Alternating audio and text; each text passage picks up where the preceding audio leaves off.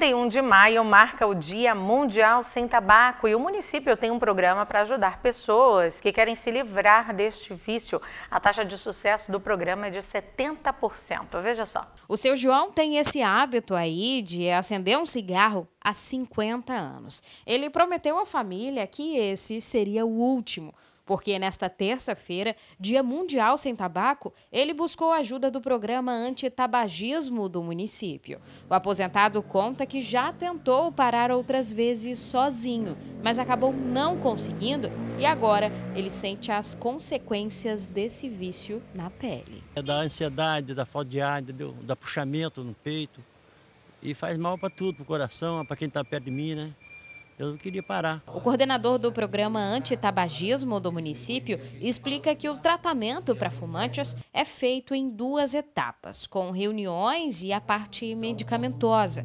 Este adesivo de nicotina, que é colado na pele, ajuda os fumantes a vencer a parte da abstinência, por ficar longe do cigarro. A partir do momento que você cola o adesivo, ele vai liberar uma substância chamada nicotina na corrente sanguínea desse paciente, que vai fazer com que ele tenha nojo do cigarro. Então, ele não vai conseguir fumar. E mesmo se ele for fumar, vai embrulhar o seu estômago, ele não vai conseguir fumar. O Márcio já conseguiu parar de fumar através do programa antitabagismo do município. Ele fala que com esses adesivos de nicotina, que fazem parte do tratamento, se livrar do vício fica mais fácil. É bem mais fácil, porque o tratamento te auxilia na redução gradativa do, do, da dependência química da nicotina e no final, quando você termina o tratamento, você praticamente já não depende mais da nicotina para isso. De acordo com o coordenador do projeto, cerca de 50 pessoas são atendidas pelo município nesse programa todos os meses. E dessas,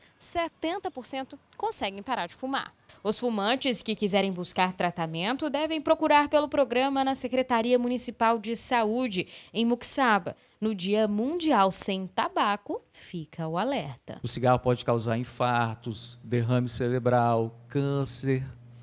E sem contar o seguinte, que o fumante passivo, que é aquele, aquela pessoa que não fuma, mas fica perto de quem fuma, pode adoecer até primeiro do que o próprio fumante, para você sentir a gravidade que é a fumaça do cigarro.